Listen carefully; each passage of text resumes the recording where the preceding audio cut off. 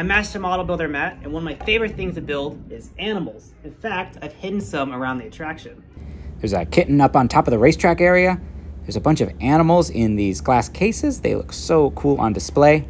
Some chunky chunky squirrels, and a groundhog and his rat friend hiding out in the ride. However, some of them have been going missing recently.